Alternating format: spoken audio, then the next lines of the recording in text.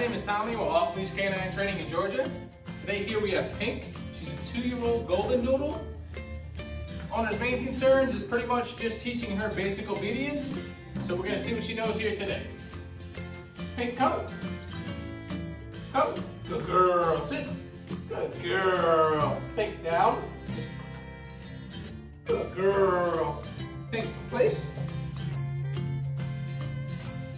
Pynk, heel.